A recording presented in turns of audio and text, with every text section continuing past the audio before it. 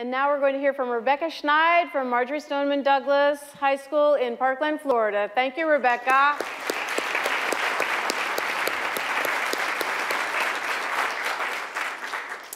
Hi, my name is Rebecca Schneid, and as Mary Beth just said, I am uh, the editor-in-chief of the Eagle Eye, which is the newspaper at Marjory Stoneman Douglas High School.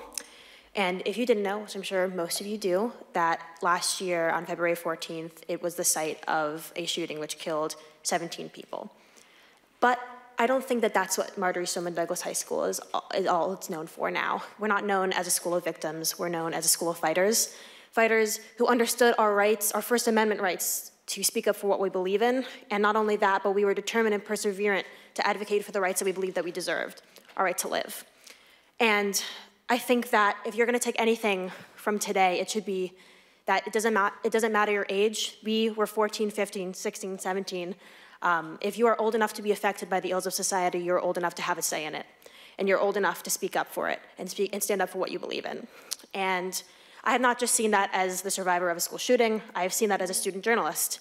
Before February 14th and after February 14th, I wrote about stories that were important to me and important to my classmates, whether they be uh, LGBTQ plus issues, whether they be gun violence at our school or gun violence in the inner cities and on the streets, um, or rape culture, diversity, and each of these are just as important as the other. And if any of these issues or anything else is important to you, I encourage you to stand up for your rights and to also speak up for them, write about them, because I have seen that student press and student voices are the most important thing in this country right now.